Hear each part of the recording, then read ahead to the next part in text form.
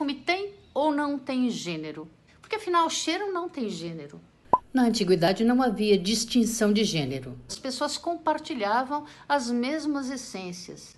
Rosas, cítricos, almíscares, couro, madeiras, tudo era compartilhado por todos.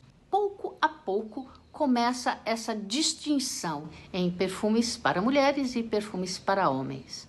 Percebam então que esse conceito de masculino e feminino foi uma coisa inventada pela indústria. E é uma coisa muito curiosa. Então, as mulheres cabem às flores, porque as mulheres podem ser floristas, as mulheres podem fazer bolos e doces. E os homens são viris, os homens podem usar é, fragrâncias esportivas, eles podem usar madeira, todo homem é lenhador, todo homem trabalha com couro, todo homem fuma charutos, então as notas são notas de tabaco que é uma coisa absurda. Quando você for escolher um perfume, não se prenda a rótulos de masculino, feminino ou sem gênero. E escolha o que você gostar.